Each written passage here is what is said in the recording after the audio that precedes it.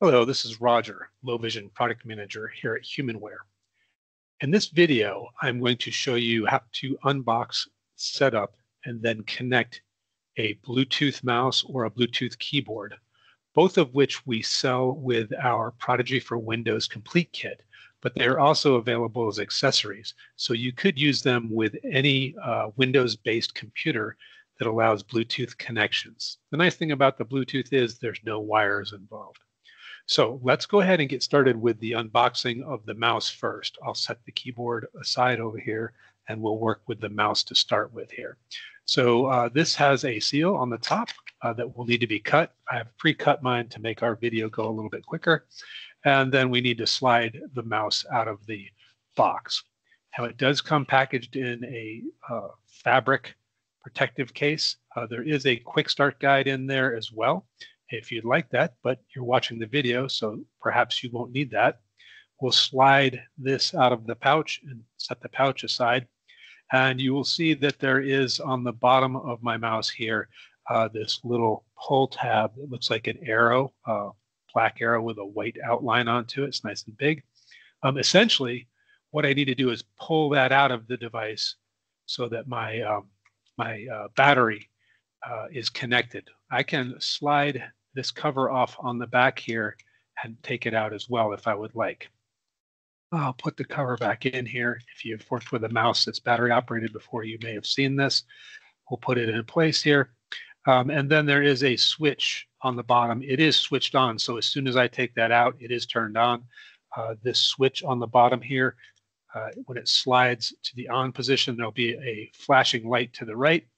And there will be a uh, little green that you can see below. So green means go. So that means it is turned on. Underneath of that flashing light is a little button uh, that I will press. Uh, that basically sends a signal to help make the connection when I'm ready to do that in a few moments. In between the power on switch and that button, uh, that is the optical eye that uh, allows the mouse to function uh, without having a ball or anything inside of it. So this mouse is now ready to go. I'm going to set that aside for the moment here and take a look at my keyboard and get that ready to go. So the keyboard comes in a white box here. Uh, I see a label over here. I'll flip it up on the edge here where I can see uh, the seam has a little pull tab onto it that I will pull back out of the box here. And then there's a tab that I pull out. And as I rotate my box back over again, uh, there's the keyboard inside here. So I'm going to take that out. It is in a plastic box. There are additional items in this box that we'll go through in just a moment. Uh, but first, let's go ahead and just take this keyboard out of this plastic bag. So I'll flip it upside down. It is sealed. So we'll do that and we'll slide the keyboard out. And there you can see the large print keyboard uh, that will be wireless when we have it completely set up here in just a moment. Uh, so let's set that to the side for a moment and take a look at the remainder of the contents of this box. Flipping the lid back up again, there is a spacer underneath here, registration card underneath here uh, if you want, as well as some basic instructions. It's got a quick start as well. Again, you're watching the video here, so you might not need that. There is a, uh, a cleaning swab in here, so if your keyboard gets dirty, you can use that to wipe it down. Um, always use uh, cleaning supplies that are intended for uh, electronic equipment like this. Don't just go and use uh, water that will destroy your devices. And then also in the box, I believe these were over here that appear to have been moved and shipping. They're probably over here, are the two batteries that we will have to insert into the keyboard. So uh, those are the contents of the box. I'm going to set that aside there. And I'm going to go ahead and uh, get these batteries opened up here so that I can them into my keyboard. So let's get a knife here and we will cut this plastic seal that's on there carefully so we don't cut into the batteries. Now I have my two batteries ready to be installed in my device. So let's bring our keyboard back in here. Uh, again, I'm going to flip this over upside down. And on the back, there are a couple of items, but first and most importantly is the uh, to the right here when it's upside down and there's a raised ridge here that I have away from me. You'll be able to feel it. Um, I'm going to pull on this little lever and lift the lid off of there. Um, and then, of course, inside, I'm going to slide these batteries in. Um, they are going to go in negative end first. I believe, yep, negative end first. So just like so. And then the negative again.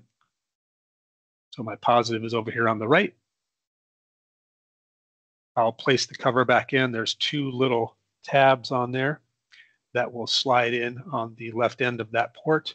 Click it back into place. Snaps in. And then the, over to the left, towards the center left, um, there is a power on switch. Slide that, and in a moment I'll show you how you can tell that it's powered on. And then there is a connect button. Again, that will send a signal that tells uh, your device that you're trying to connect to uh, that you are sending a signal to connect it. We'll flip it back over.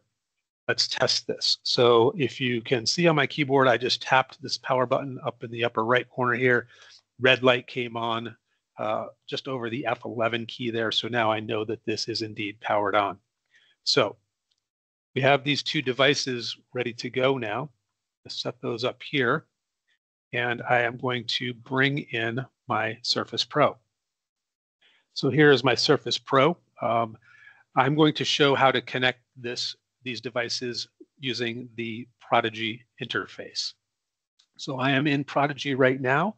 Uh, it's on magnifier in the carousel. I will swipe on my touchscreen, although I can also tap the arrow in the lower right corner till I get to the settings for my device. Now I will tap on settings and we will come down in our list to systems. There's arrows, there's a drag down bar, but since I see systems, I don't need to do that. I can just tap onto it and open that up. Both of these devices that we are connecting here are Bluetooth, so I'm going to tap on Bluetooth setup. And this will take me directly into my Windows interface for Bluetooth devices. Um, in this case, I want to add a device. So up here at the top, you can see Bluetooth is turned on and there is an add a device option here. So I'm going to tap on that and it's going to ask me what kind of device do I want to add. Uh, device, first one is Bluetooth audio devices, mice, keyboards, phones, pens, controllers, and more. So I'll tap there. And immediately I see the mouse came up there. So I don't need to do anything with that except tap onto it should connect automatically and your device is ready to go. So let's check that out.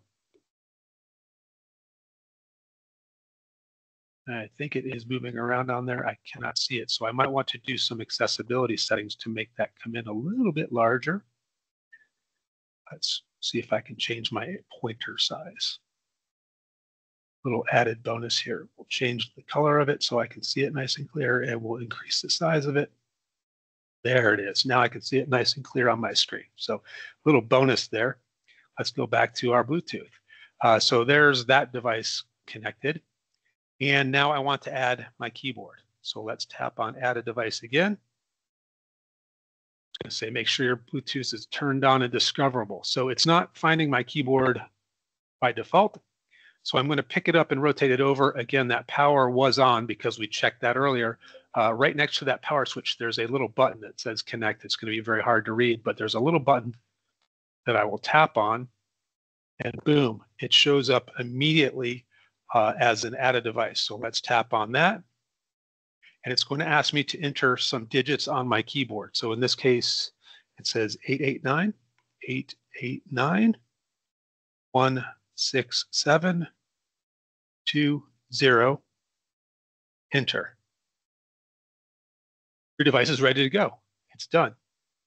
So now I can use different buttons on my keyboard to navigate. So I don't know if, uh, I think it's coming through there. Yeah. So you can see now I'm using my tab and my arrow keys to work through the different um, options in my screen. So my keyboard is set up and ready to go now as well. So there you have it. Um, all of the connections here are done. Uh, use my keyboard here. Let's tab to that arrow, hit enter, tab to that arrow and hit enter and I'm back to my carousel again. So uh, I am not going to install the software right now, but you can if you'd like. Uh, but you will have now mouse and keyboard access on your Surface tablet or whatever computing device you're using. Hopefully you found this video to be useful to you in using these Bluetooth devices and in considering other Bluetooth devices you might want to connect uh, to your systems. As always, take a look at the description of this video and click on the feedback link there and tell us how we're doing. The only way that we can continue to improve our products and services to meet your low vision needs is through your informed feedback. Thanks once again.